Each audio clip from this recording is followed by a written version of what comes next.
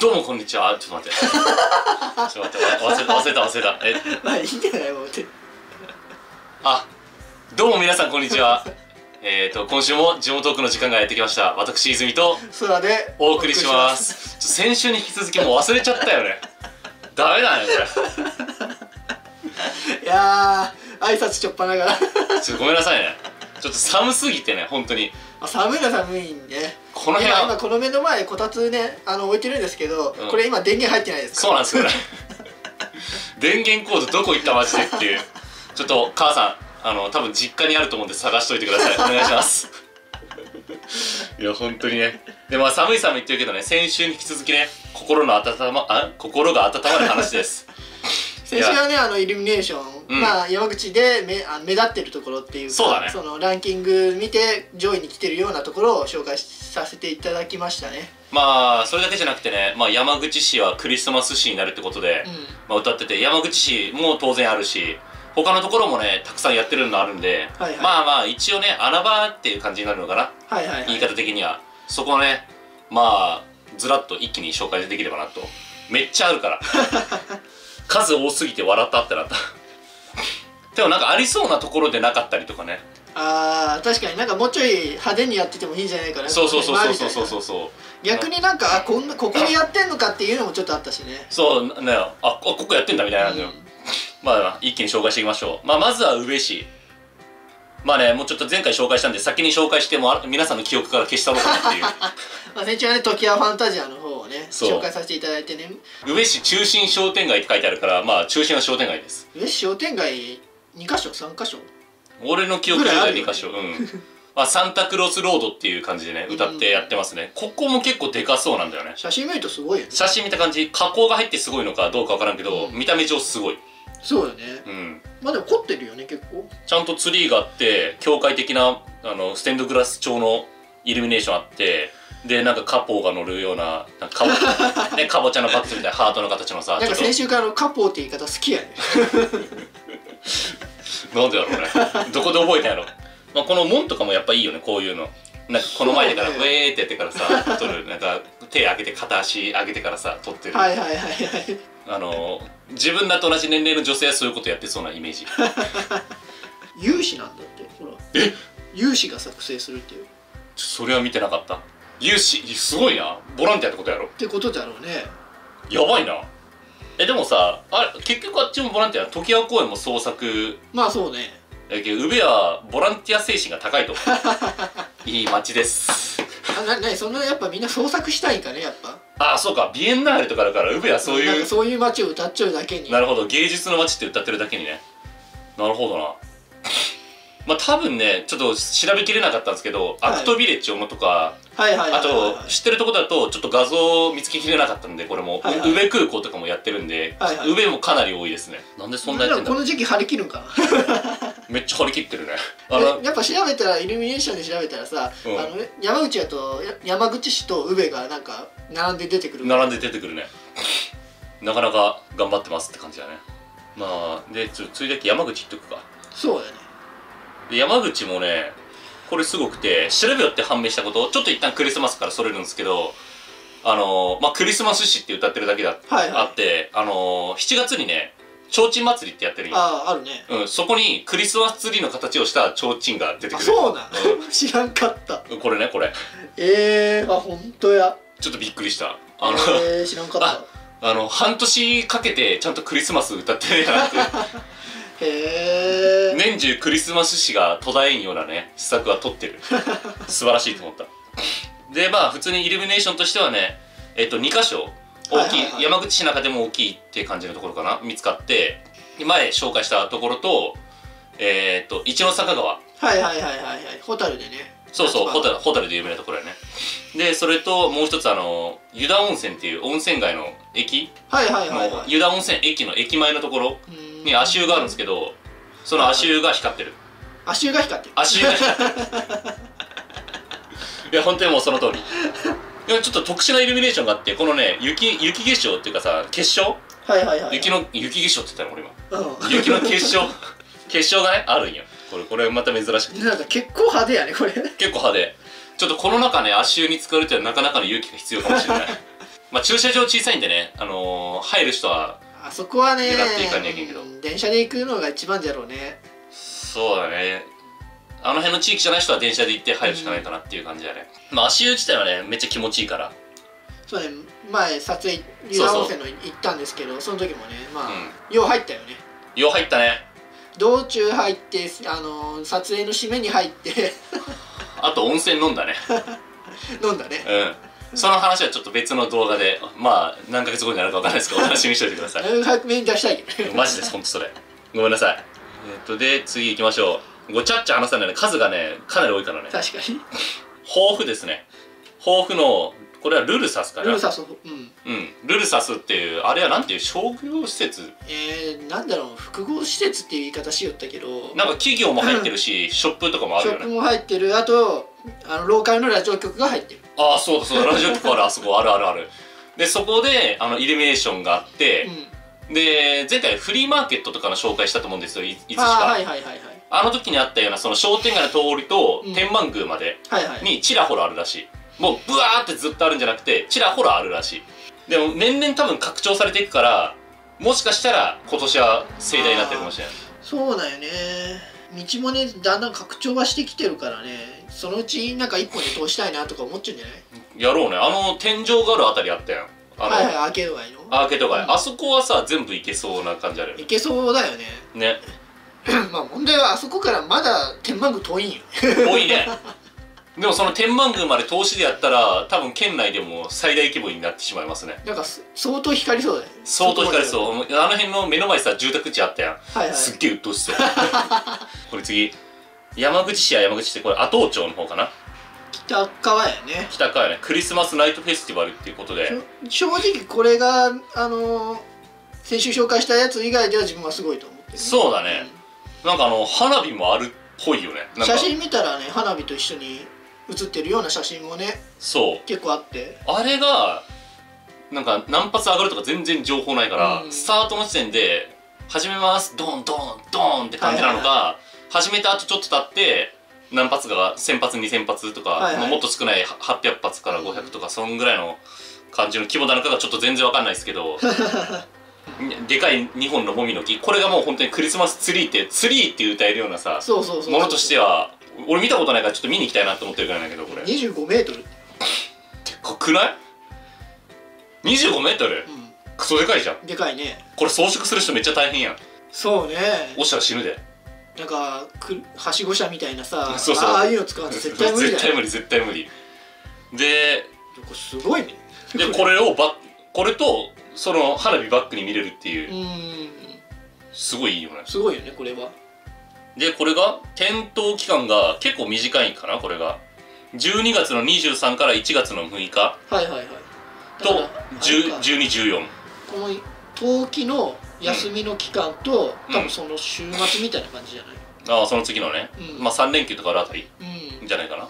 じゃ待って日没から翌朝までついてるって。めっちゃ明るいんじゃない？めっちゃ明るいじゃん。マジで。すげえな。翌朝までやるんだへえしかもこの2本の木だけで約5万5千個の電球が輝くって。へえ2 本の木だけで5万5千本ってやばくない？それはすごい。それはねこんなに輝く。よやば。見た。これは見たいわ。阿東町です。阿東町阿東町をよろしくお願いします。はい次行こう。これあの宇部のとちょっと近しい感じのイベントって思ったらいいんかな？これは。ああはいはいはい。光市かな。そう光市。冠山総合公園、っうんてところでやってる、まあ、これねあの宇部市と同じ創作イルミネーション。うんうん。なんであの、まあ、その辺りの企業だったりとか、まあ、個人だったりとかもかもしれないですけどそれが出し合うっていうか。そうね。なんか写真少なくてどんなんが出てたみたいなのがねあんまりちょっと見つからなかったんですけどね。そうなんだよなんかねイルミネーションってもっと画像あってもいいと思うんだけど、ないんですよね。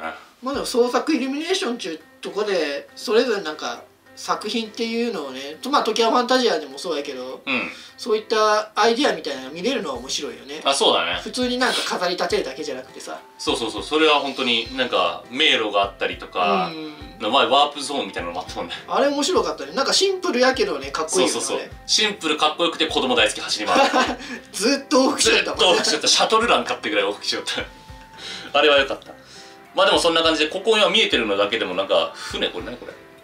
違うな。これツリーだわ。ごめん。こっちはツリーで奥これ何？記者じゃない？これ。ああはいはいはいなるほどね。ね。まあなんかチョルルチョルル的なのが写ってる写真も見たような気がするんだけど。まあそんな感じでね創作してやってるっていうところでこれねまた、まあ、あの上の方も同じなんですけどあの創作なんでランキングっていうかあ投票があって、はいはいはい。投票で1位の方には2万円分クオカード。商品券またはクオカーうん。ドでとあ投票者からは抽選で10名に1000円分の図書カード。投票者ももらえる。まマジで？うん。あ本当だ。だから投票しに行ってください。皆さんあの 10名様で少ない確率ですけど当たればちょっと嬉しいですよ。セームはね割と大きいよ。割と本図書券で。本は。あ単行本だったら2冊買える。はいはいはい、うん。でもいいね。こうやって投票して皆さんもだから出店したいなって思って日光市の方の方とかは来年出せばどうですかっていう。そうね、うん多分敷地はまだまだ余ってるはずなので。上でさえ余ってたからね、はいはいはい。絶対余ってる。出そうかな。ここに俺出し行こうかな。まあでもできるんならあれだよね。出した方がまあ出しとくだよね。実際。できるところ全部やるか23箇所やるか あのどっちチームがやってああなるほどね。チーム分けしてさあのメンバー内でね、はいはい。ラボメンラボ面内でグループ分けしてどっちがすげえの作れるかっていう勝負あのお互いのお互いの民で済むやつ作ってる間。そうね。うん。面白くない？それはいいんじゃない？結構面白いとは思うけど。やりますか？来年やけどな。今年はもう無理。もう締め切られてる。締め切られてるももうやってるし。ねやってるもうやってるやってる途中にいきなり統一そうそうそう。絶対怒られる。実家で作り上げてからそれ持っていくだけ持っていく。割とありかもしれん。次。ちょっとねあの今だんだんね東に行けたけど西に戻ります。下関うんなんか下関はねガーンとやってそうなイメージあるんやけどね。そう駅前下関イルミネーションってやってて、うん。もう本当にさ都心部っていうかクソでかいから山口県内でもうん。都市としては、めっちゃやってるやろうなと思ったらなんかこの写真上ではもうちょっとなんかやってるんじゃないかなと思いたくなるような。だって LED10 万個10万個でこれはない、だよね。LED10 万個もやってるんだよね、うん、それってさっきのさもみの木の5万5千個のまあ約倍やんっそうそうそうそう。て考えるとじゃあ写真が悪い？写真が悪いよねこれ。写真が悪いです。見つ見つけられてないです。もうちょい PR しようぜ写真で。このこの写真で？えーっとねまあ多分ね写真の撮り方も当然あるんやけど、その上のさサンタクロスロードでもあったけど、はいはいはい。あれと私カポーが好きなね。馬車があります。これだけめっちゃ目立っとるよね。これだけ。もしかしてさこれに10万個使ってるんじゃない？めっちゃ光ってるから。マジで。じゃあこれ何？それなりにサイズがあるってこと？可能性あるぞこれ。もしかしたら後ろのツリーもでかいかもしれないでここね駅前だからあれ結婚式場が後ろあるんですよ、はいはいはいはい。下関っつったら。有名なね結婚式場でかいやつ。あれも光ってますまあライトアップだけどね。はいはいはい。まあなんでそれがあるから結構派手に見えるはず。この馬馬車で LED そんな使ってる まあまあさすがにこれで十分規模はないと思う。だよね。ハートのイルミネーションもあるって。あああれよね。ハート大好きよね。なんでだろうイルミネーションって。なんでなんやろうね？なんでやろうね？そんなカポ カポ押ししたい？そんな。我々みたいな写真を撮りたい人たちはちょっと抜きにされてる感じ。それはちょっと悲しいな。はいお次はですね、えー、っとちょっと北の方に行ってね。はいはいはい。萩市でやってます。萩市ね。萩イルミフェスタ2019うんうん。まあこれは駅前かな？これ駅前じゃないんか。あの萩駅舎っていうからあごめん。昔使ってたやつだね。俺駅って萩駅ってしかなる。萩駅舎ね。はいはいはい。なるほどね。萩駅舎ってところでやってるまあライトアップとうん。イルミネーションセットのやつでね。でこれもねまあめちゃめちゃ派手って写真には見えんけど多分派手これは、はいはいはい。っていうのがあのでかいめのタワーが6本とか7本とか、うん、あるね。バーッとた、うん。いあの並んでるから近くで撮ればすごい映える写真になると思う、はいそんなスペースあったんだって感じだけどね。えー、あだからこれももうやってるのかな？やってるね。でも萩って言ったらさやっぱりまあ前回も紹介したランキングでねうん。和服似合う街とかあったりとかしてからさ、はいはいはいまあ和なわけやん。そうね。めっちゃ洋の洋テイストがあるしさ。ちょっとどんな感じに映るんかなっていう。うんここにさ要するに着物着ていったらどんな感じになるかっていうね。そうだよね。外国人の人かなってふと後ろ姿で思ってしまいそう。で 逆に思って逆っていうかもう一つふとそれで思ったんやけど、はいはい。まあうちの実家さ、まあ、めっちゃ古くてはいはいはい、まそうね。あ、あサマーウォーズにも出てきそうな感じのさ 実家なわけじゃん。そうねあそこをライトアップしたらどんな感じなのやろって。ああなるほどね。うん。瓦の形とかをさ、はいはいはい。ちゃんと瓦の線に沿ってライトを置いていったらさ、はいはいはいはい。ああなるほどね。すごい面白い絵になりそう。めっちゃエレクトリカルな 感じに。エレあんなクソどい中でエレクトリ名前 周りの人が何を思われるかって。もうやらんけどなさすがに。周り暗いからめっちゃ光るやろ。めっちゃ光ると思うよ電気代どうなるんでしょうね。どうなるんやろうね。怖いわ。まあでもここの萩もねその和と重なる、うん。萩駅舎って、まあ、昔の登録文化財って言われるものやけさ。うんそうね。俺中身あんま知らんだけど和のものな。ん洋館って書いてあるね。だから洋風の駅だねこれ。ああなるほど。それにちゃんと合わせたんだねさすがに。さすがに萩市も合わせてきたようです まあ違和感感じる可能性もあるもんね。見たことはないけど。そうね。自分も行ったことないな。だって個人宅でやってるって話さっきも出ましたけど、はいはい。それも結局洋風な家っていうかそっち系の人が多いかなはいっていう、はいはいはいね、庭もあって、うん。なんか洋風な感じの花とかも育ててなんか、ガーデンみたいな感じで作ってる。ところがやってるイメージあるけど和の家でやってる人はあんまり見んかなっていう。ないね確かに、うん。まあ、ちょいちょいいるけどさそりゃ。まあでも浴衣浴衣ってかその着物ねはいはい。着て見に行くのは面白いかもしれない萩っていうのもあって。そうね。写真も一風変わった写真になるともう自分が写り込んでて。そうだね。ただまあねイルミネーション撮るのクソ難しいんで 皆さん頑張ってください。本当に難しいです。あの携帯で撮ったやつも、まあ、光が光ってよく見えます、うん。確かに綺麗に見えます。パソコンでそれを開いてみると絶対ブレてます。ほぼ間違いなくブレてますそれ。あとあの逆光の問題。人が前によって後ろに光がある時のうんはいはいはいはい。映しづらさ。はいはいはいはいはい。次行きます。あこれなんかど田舎のはずなんですけど山陽小野田市であるあの一応新幹線が通ってる駅朝駅っていうのがあるんですよ。まあよくよくネタになるよね。そう何もない新幹線駅っていうのでもう一番しょぼい新幹線の駅なんじゃないかと俺は思ってる。でそこの朝駅はいはい。あの朝って言ったらネタロウさんっているんですよ、はいはいはい。三年ネタロウってまあ全国的にも有名なう日本昔話でも流れたことある人なんですけど、はいはい。でそこのネタロウさんが光ってます。銅像があって。銅像じゃない石像かなあれは。うん。石像があって石像が光ってます。ほまあ要は 要は朝駅前にイルミネーションがあります。ちょっと謎い状態な。うなぜネタロウさんを光らせようと思ったかまあ正確にはネタロウさんはライトアップで周りのものになんか装飾してそれまたね何度も言う何度も言うカポーが好きな椅子があったりとか。でしかもねここねなんとねカポーが好きな椅子があるだけじゃないんです。これはちょっと見見て目を疑った一瞬。はいはい。まさかの結婚式をやってます。へえあの点灯式で結婚式。でこれもう12月1日で終わっちゃってるんで本当だ。その1日に結婚式挙げた方本当におめでとうございうますいやまさかだよねいやーこれ絶対寒いよ。ね そう女性の方とかよく肩出しじゃん？ねきっついやろ。あのー、朝っていう場所もねやっぱ山口の中でも寒い方の部類にね入るね。入るんでね。うん。しかも結構小さめなんかなと思ってイルミネーション的にはなんか、まあ、新幹線とか使ったりとかする時とか、はいはいはいはまあ、あとね友人とかはやっぱ山口県内至る所にいるんで聞いたりとかした時に年々大きくなっていってるっていう噂で。始まってまだね多分5年ぐらいなんですよねこれ。あでもね結構イベントもやっとるよ。これなジャズとかいいじゃん。ほんとジャズコンサートやってる。なんで？いやもっとさ下関がやったりとかさそれこそもみの木のさっきのところでさ、はいはいはい。こういうジャズコンサートあると分かんないけどさなんで朝駅って。しかも調べてて思ったのが山陽小野田市のイルミネーション調べてたんですよ、はいはいはい。で出てきたのこれだけ。あそうなん画像としてちゃんとして出てきたのこれだけ、ね、マジで？